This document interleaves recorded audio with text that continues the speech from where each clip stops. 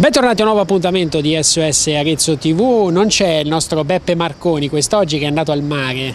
È venuto Fabio. È venuto Fabio, io ci vengo sempre, lui che non Sì, viene, sì. a volte non viene. Ah, Beppe Marconi, mi sembra di conoscere. Quello che ha fatto il vice sindaco, che è sempre con me tutte le Ah. Sì, sere, sì, sì, è andato al mare, però insomma noi Eh, siamo, oh, oh, beato lui. eh. Eh, oh, Allora ci ha chiamato il signor Domenico che è no, il nostro... chiamo Domenico. Domenico, sì sì, ho Eh, detto so- Domenico. perché sono sordo, perché sono sordo da tutte e due le orecchie. No, abbiamo detto Domenico.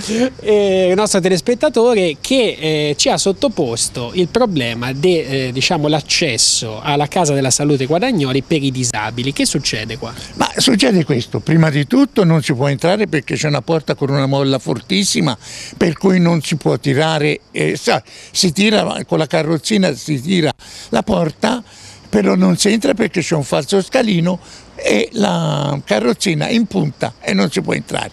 Di spalle, se io lascio la porta, la porta è forte, si richiude e di spalle non posso entrare perché le rotine davanti della carrozzina non sono trazionate, sono trazionate quelle che sono dove appoggio il sedere.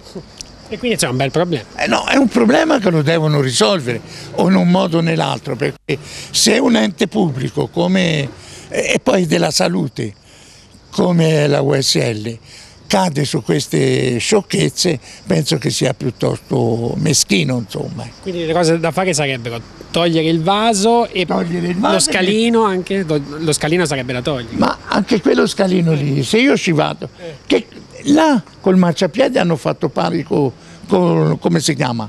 Con l'asfalto. No, di qua ci hanno fatto uno scalino ripido. Io vi faccio vedere come si fa a entrare. E mi tocca entrare di spalle. ecco.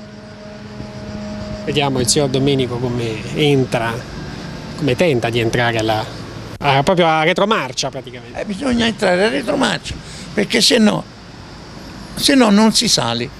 Ora.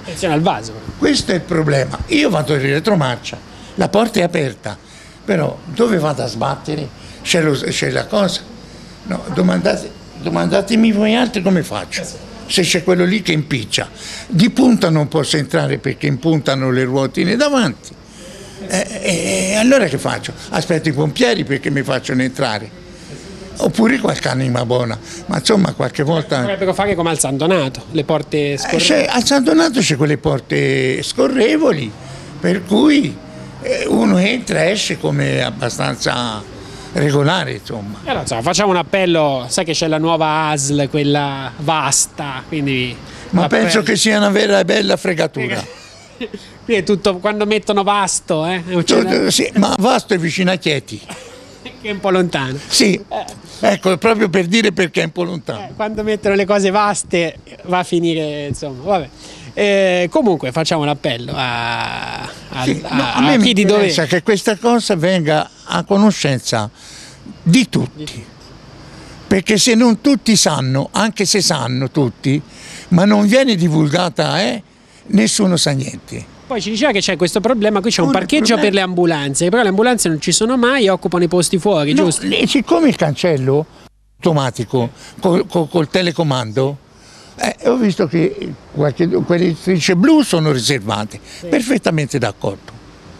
Però se quelle riservate alle ambulanze, che senso hanno le ambulanze di parcheggiare fuori? Perché devono parcheggiare su posti invalidi quando hanno qua quattro posti per parcheggiare? E dopo l'invalido non trova il posto. E li validano, già che ce li mettono i fesi, i, no i soliti fermi, i soliti furbi. o-